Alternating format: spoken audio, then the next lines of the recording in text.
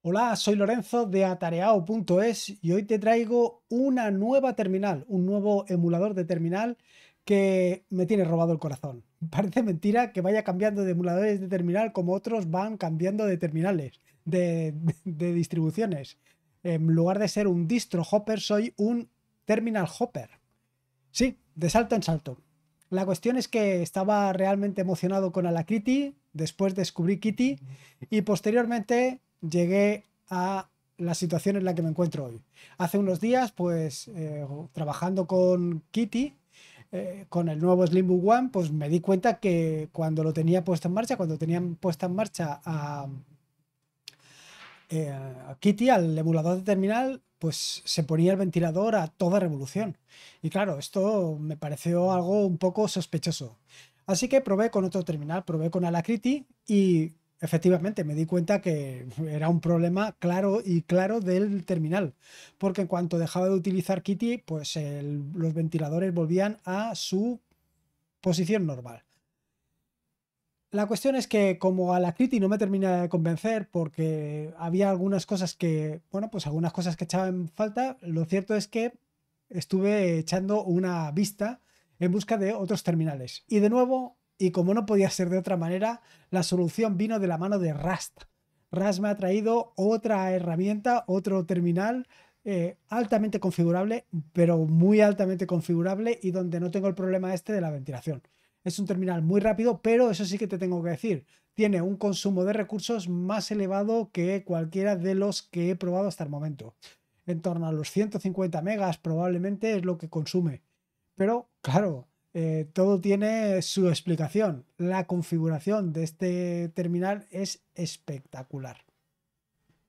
Para que te hagas unas ideas, eh, eh, lo tengo puesto aquí en marcha para que veas cómo es. Si quieres, puedo abrir. quiero decir, aquí poco vamos a ver porque no tiene mucha cosa. Por ejemplo, ya has visto, si hacemos aquí un,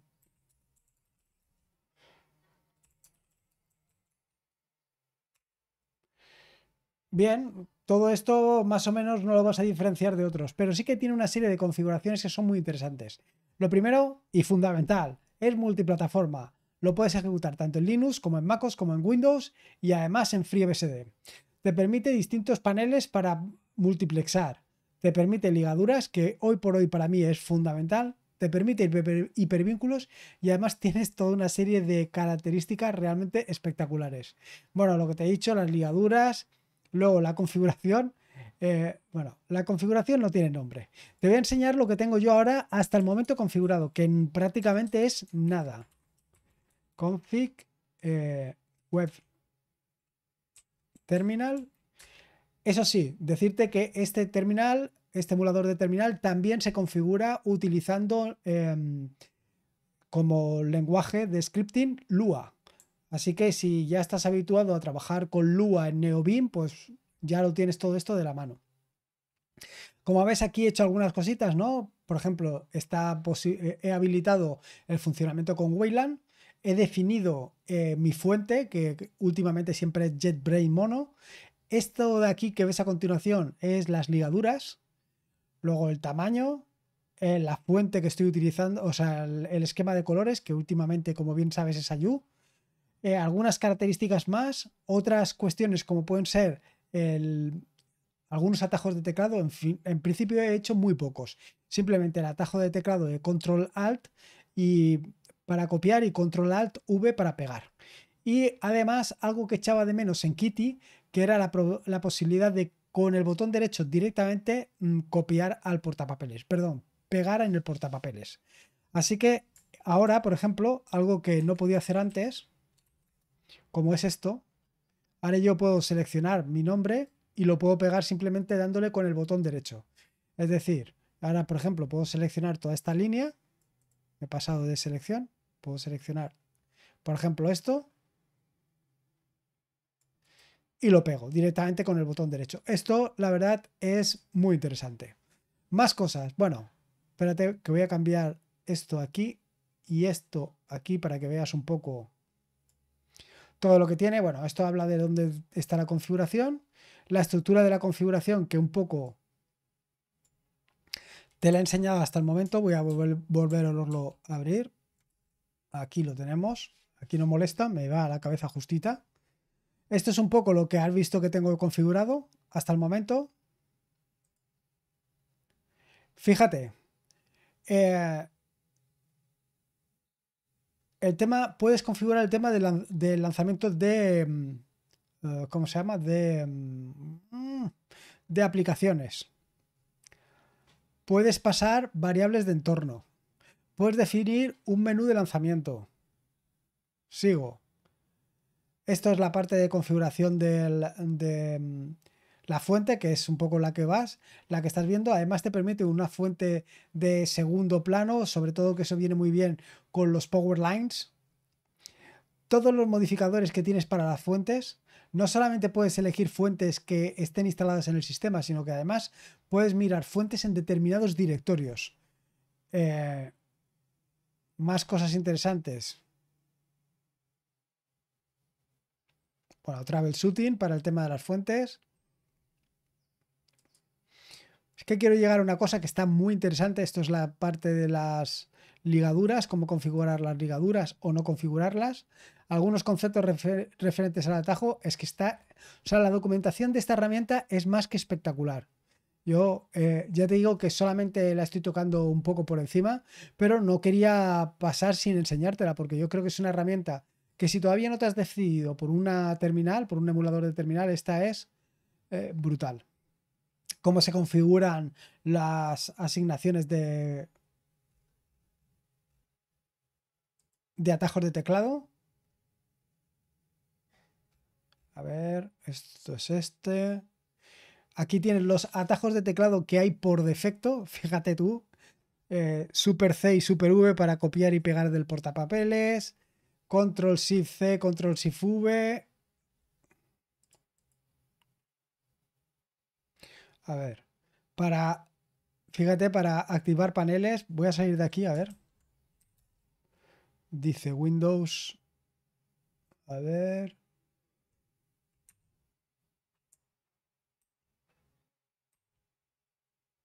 Control Shift 0. Control Shift 1.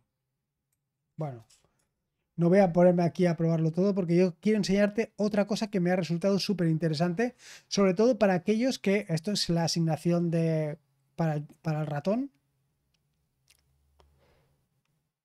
A ver.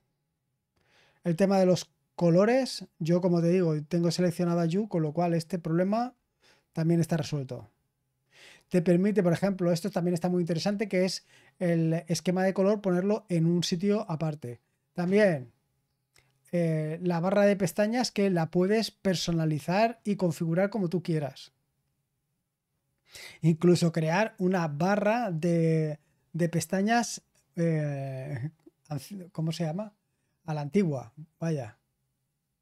Puedes personalizar los paneles que estén inactivos. Fíjate, es que, es que el grado de personalización de esta herramienta es sinceramente espectacular. Te permite poner una imagen de fondo de pantalla. Te permite, ver que gradiente de colores. Permite establecer la opacidad. Mira, esto la verdad es que no lo he probado. No sé si aquí me va a dejar.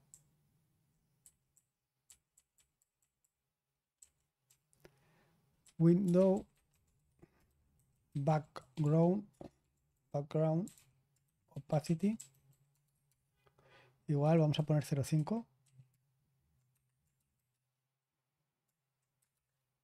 pues no no la verdad es que no me ha hecho ningún caso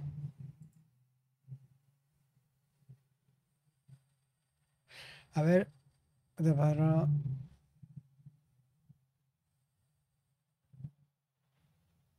Windows, pues no sé, no, esto habrá que verle, dedicarle un poquito más de tiempo. Color schemes. Fíjate, esto es la cantidad de colores que, la cantidad de, de esquemas de colores que hay. Yo, esto, esto es realmente, bueno, bueno, bueno. Estos son todos los, espero que no me deja, no me haga pasar por todos. Pues sí, me va a intentar hacer pasar por todos. Los ayú, a ver. Es que yo no quiero no quiero. Color schemes, nos lo pasamos. Scroll back. Scroll back. Ah, vale. Estos son el número de líneas que puedes pasar para arriba.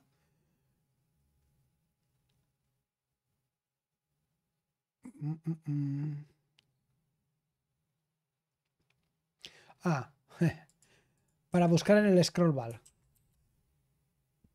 Shift Control F. Pues no.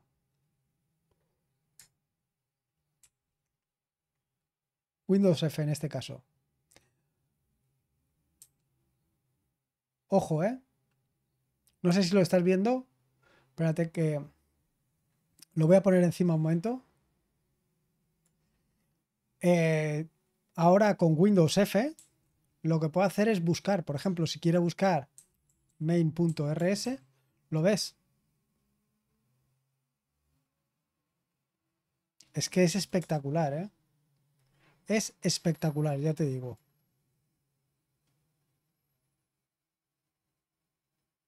A ver. Windows F.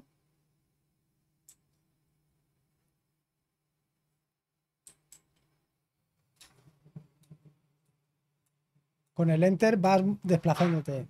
Y con las teclas lo mismo. Con las teclas, o sea, con las teclas de cursor también. Es que ya te digo. Te permite guardar, eh, em, ¿cómo se llama? Búsquedas.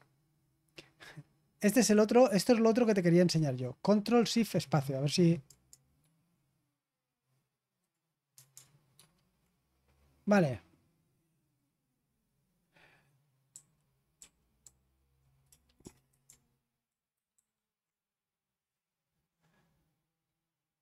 Esto... Eh, a ver. Selección, o sea, escribiendo, eh, ¿cómo se llama? lo que está marcado, lo que está resaltado, lo copia.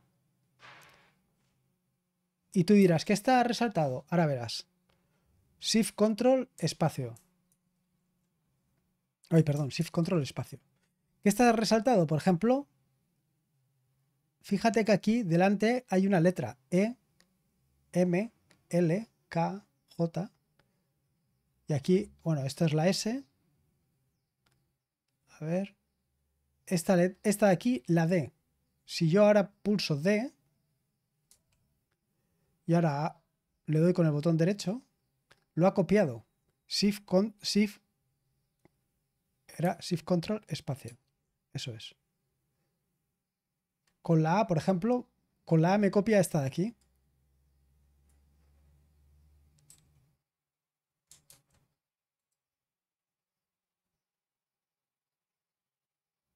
Vaya qué casualidad, hombre.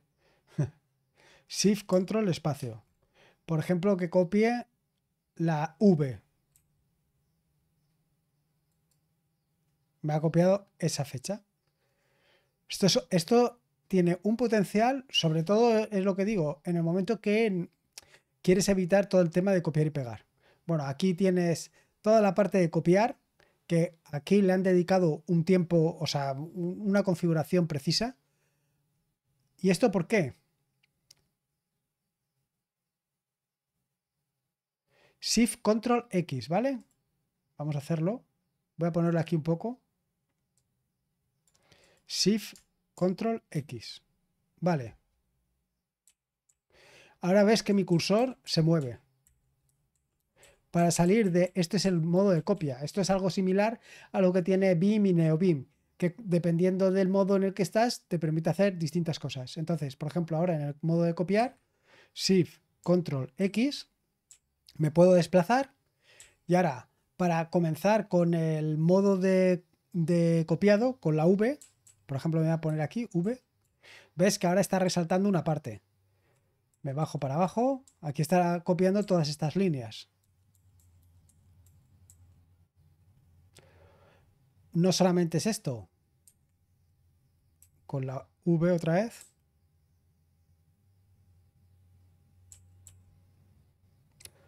Shift Control X, ¿vale? Ahora con la V, con control V, en lugar de V, control V,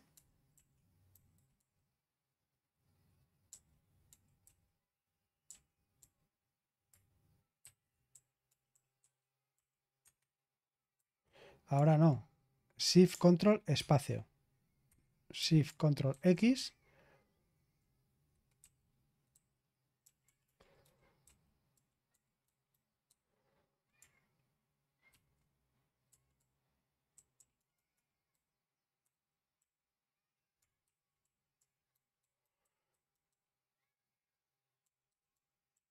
Con las teclas de cursor me voy moviendo hacia derechas o izquierdas o con JKL igualmente. Tienes toda esta combinación para llevártelas.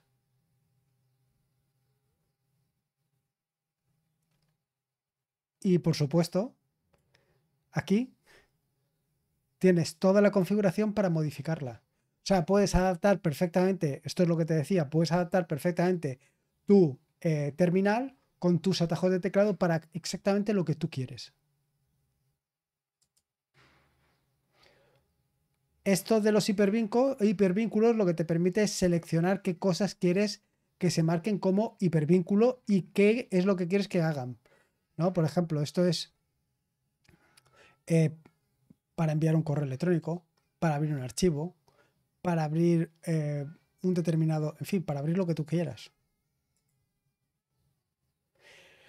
Otra cuestión interesante es la integración con la Shell. Esto también es realmente espectacular. Esto es para... Eh, bueno, esto es de Literm, que nada.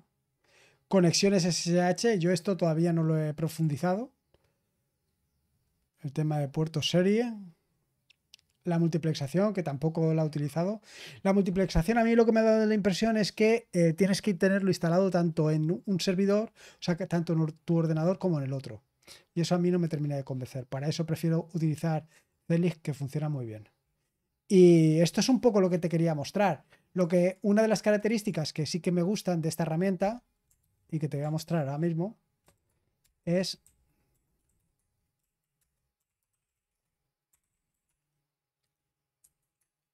que igual que otras herramientas te permite mostrar eh, imágenes directamente en la propia terminal y esto es realmente espectacular.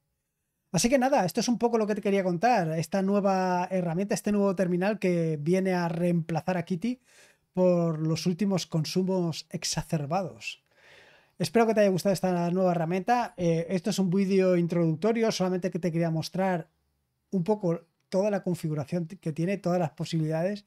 No dudes que más adelante, cuando haya profundizado suficientemente en esta herramienta, volveré a insistir sobre ella porque me parece una terminal bastante, bastante potente y bastante, bastante interesante. Así que nada, nos vemos en un siguiente vídeo. Hasta luego.